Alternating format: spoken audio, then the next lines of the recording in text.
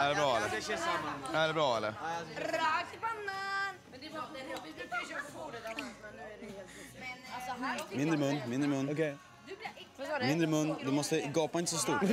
Ja, nej men nu där, gapa inte så stort, okej? Du får med tänder Christian, det är inte bra.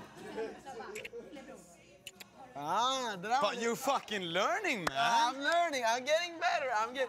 Men just det, det är sant, man ska inte ha så jävla stor mun. Det är där Det, det, trixet det, är. det, det, det, får- det, det, är det någonting som varken killar, eller killar vet jag inte, Ja. men, eller jo det vet jag också, Ja, det men varken också. killar eller tjejer, speciellt tjejer, det, det de uppskattar minst, det är elvispen, du vet den här. ja.